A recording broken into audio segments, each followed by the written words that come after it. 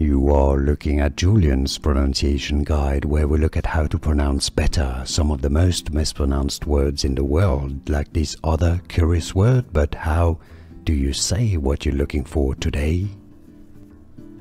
We are looking at how to pronounce these names. We'll be looking at how to say more confusing names, many mispronounced, including from Vietnamese, from Vietnam. How do you say it?